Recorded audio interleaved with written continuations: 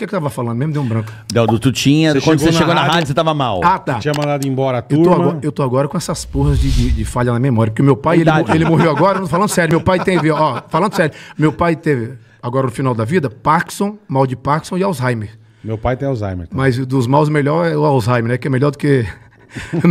melhor esquecer de pagar a conta do que sair derrubando a cerveja. Mas, é, ele, ele teve os dois. Que maldade, piadinha. Piadinha, maldade. Não, bora. Não, esquece É a conta. verdade. sair Piada, verdade. caralho.